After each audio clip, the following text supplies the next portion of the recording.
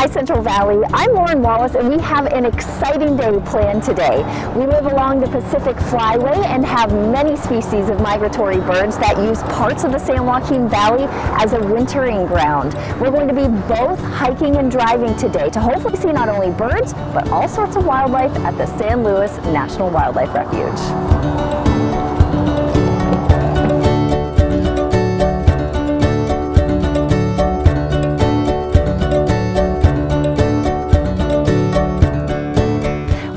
To the Visitor Center, which is about 15 minutes north of Los Banos. This wildlife refuge has over 26,000 acres of wetlands, riparian forests, native grasslands, and vernal pools.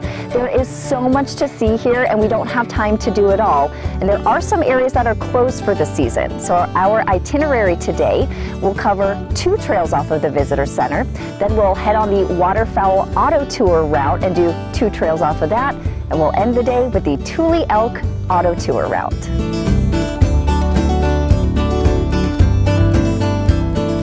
Something to note about this wildlife refuge is that it is great for the whole family, even leashed pets. Each trail that we're going to do today is relatively short, flat, and easy. And our first trail is right off of the parking lot on the opposite side from the visitor center. The Upland Nature Trail is a loop coming in at about a half of a mile and is going to wind through native grasslands and shrubs. We're going to keep our eyes on the ground for this one and watch for foraging animals.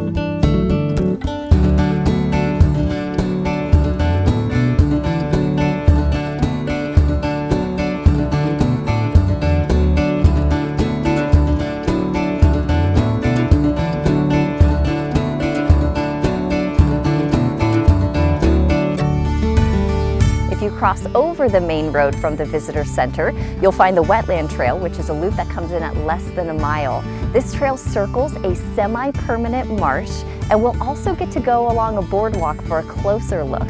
This trail also has benches along the way so you can comfortably watch waterfowl and riparian species.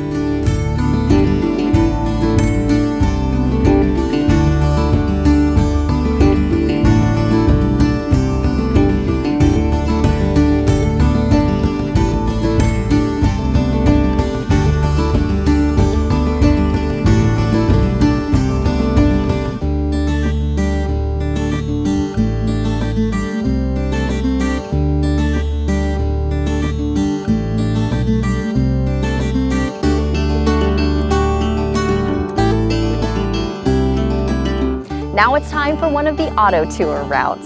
We're going to start with the Waterfowl Auto Tour route, which is an eight and a half mile drive through the heart of the upland and wetland habitats.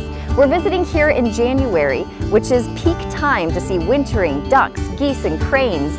Our eyes will be peeled for raptor species like bald eagles and mammals like black-tailed deer and coyote.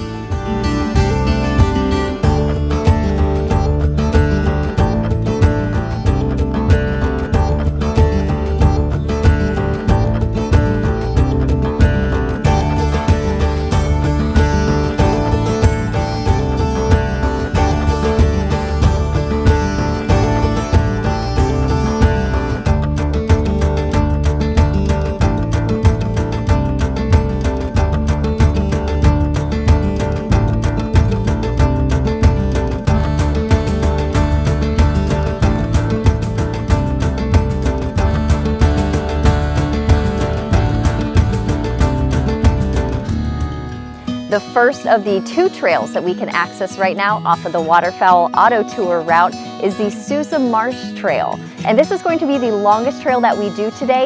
It'll come in at about a mile. It's going to start out by going through a riparian woodland before getting to the marsh. And once we get to the marsh, we'll be able to take a closer look with a spotting scope.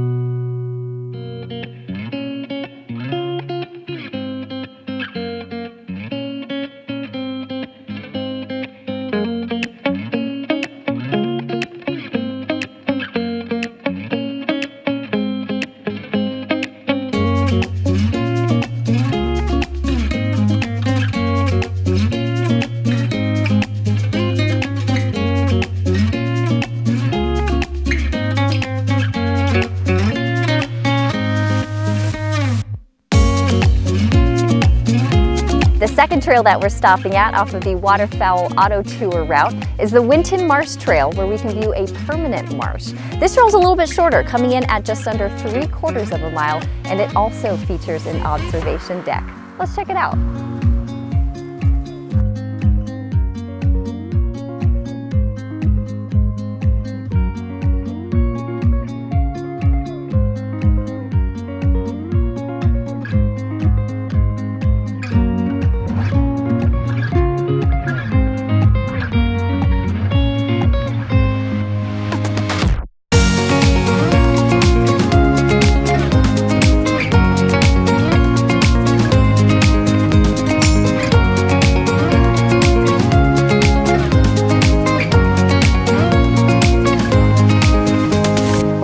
Our final hike and moving on to the last area that we'll be exploring today.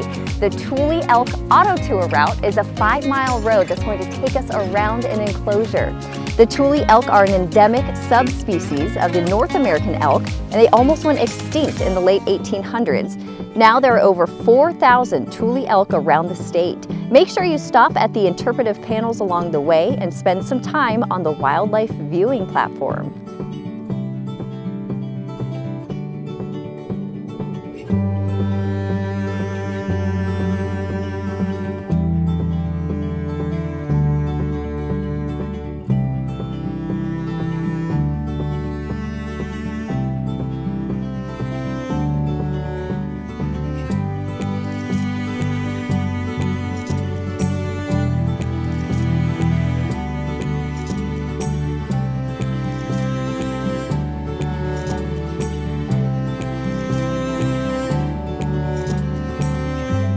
We've had such a beautiful visit to the San Luis National Wildlife Refuge today. I hope that you can come out and enjoy the sights and the sounds at different times of the year as well. Thank you so much for coming along with us today on the journey. I hope that you go to yourcentralvalley.com and pick out other hikes and keep adventuring. Until then, I'm Lauren Wallace and I'll see you on the next trail.